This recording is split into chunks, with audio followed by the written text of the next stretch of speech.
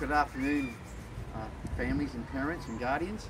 Um, this just is a quick message to let you know that uh, all primary students today are taking home work packs as just as a precautionary measure um, since we've had the announcement of a COVID case in Shepparton. So the work packs will come home today. Could you please ensure that the packs are taken off the children and stored somewhere safe? We do not want the children to use the packs. Um, they're there as a precautionary measure.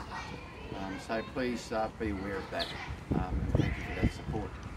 Um, you'll see here our lovely uh, banner here, flying in the foundation. And sorry, we've got some couple of kids. Come through, kids. Come through.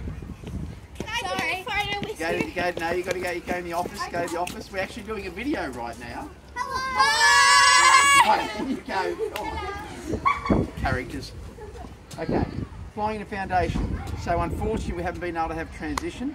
Um, this is our theme and this theme we're going to set for the next four or five years at St Mary's. Um, and we're doing a lot of um, work to making sure that we make it a very good program. So families of children who are going to be getting foundation next year will be contacted about an alternative type of program we're going to set up for them, which is, will be exciting. Um, so thank you for all the support you're giving us uh, at the moment, and we're very conscious too of what's happening at home in these interesting times we live in.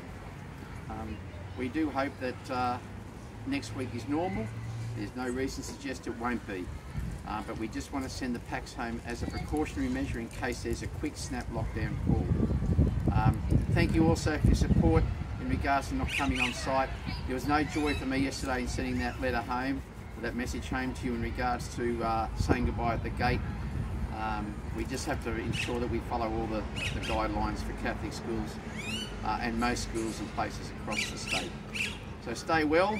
Um, I hope you have a lovely weekend and go those Geelong Cats. Um, I should be saying maybe the Blues and the Hawks, but at this time of my life, go the Cats. Have a good weekend, everyone. Bye.